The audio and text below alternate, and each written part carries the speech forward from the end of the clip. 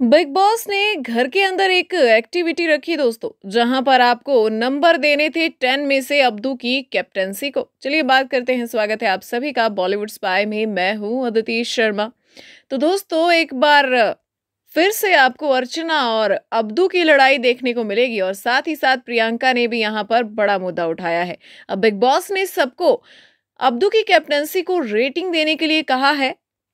जहाँ पर पहले अर्चना ने अब्दू को दस में से छह नंबर दिए और अर्चना ने यहाँ पर कहा कि ये खुद सोता रहता है और सबसे ज़्यादा कुकड़ू कू तो इसके खुद के लिए ही बचता है। यहाँ पर अब्दू चिल्ला कर कहते नज़र आए कि जब किसी की तबीयत खराब होगी तो क्या वो सोएगा नहीं? तो अब्दू यहाँ काफ़ी ज़्यादा गुस्से में दिखाई दे रहे हैं अर्चना के साथ। उसके बाद जब बारी प्रियंका की आती है तो प्रियंका अब्दू को सात नंबर देती है और कहती है उनको बायस्ड कैप्टन जी हाँ उन्होंने कहा कि मुझे इनकी जो बायसनेस है वो कहीं ना कहीं ड्यूटीज़ में दिखी हैं और वो हमने भी साफ़ देखा था दोस्तों कि अब्दू ने प्रियंका को बहुत सारी ड्यूटीज़ दी थी, उतना काम देने के बाद भी अब्दू चाहते थे कि प्रियंका एक और ड्यूटी कर ले।